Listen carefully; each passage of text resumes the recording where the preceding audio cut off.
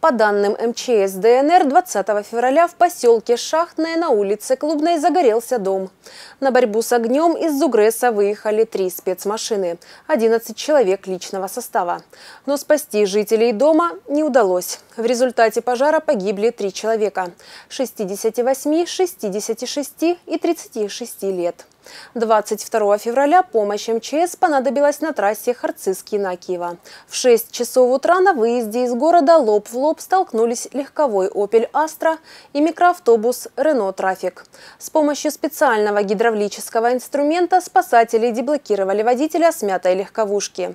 Всего в ДТП пострадали 6 человек, один из них ребенок.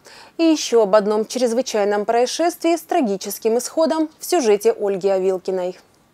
Минувшей ночью по тревоге были подняты харцизские спасатели.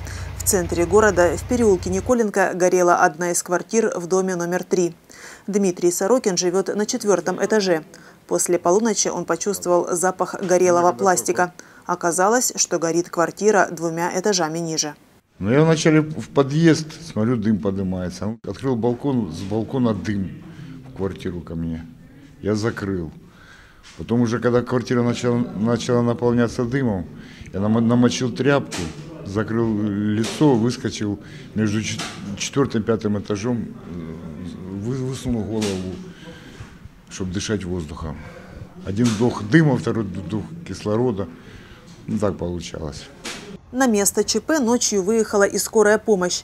Пятеро человек отравились угарным газом и нуждались в госпитализации.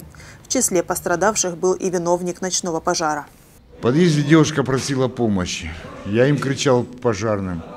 Говорю, помогите, говорю, кислород поднимите, девушка задыхается. Я ее не вижу, уже дым так, такой задымление было, вообще ничего не было видно. Едкий дым не оставил шансов на спасение молодой женщине с третьего этажа. В сводке МЧС сообщается, что в результате пожара погиб один человек.